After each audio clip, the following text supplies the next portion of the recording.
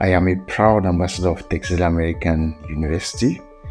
I am most grateful to Texila American University for this uh, lofty doctorate program in public health. I must say that the team at Texila American University have been very supportive from the time I enrolled into the program up to course completion. Even though it was an online course, which was not very easy, uh, it was well tailored through its uh, learning management uh, system portal and the entire staff and my student mentor bonded regularly with me through reminder on phone, uh, reminders on email and even on WhatsApp. And I felt uh, that it was an on-campus program.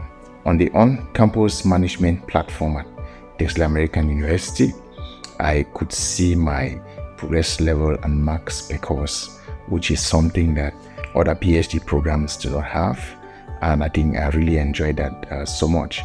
I also want to say that I enjoyed and cherish every moment I spent under the guidance of the staff and the student mentor.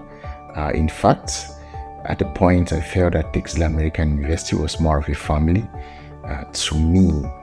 Um, I always recommend Texila American University to family and friends anytime, any day.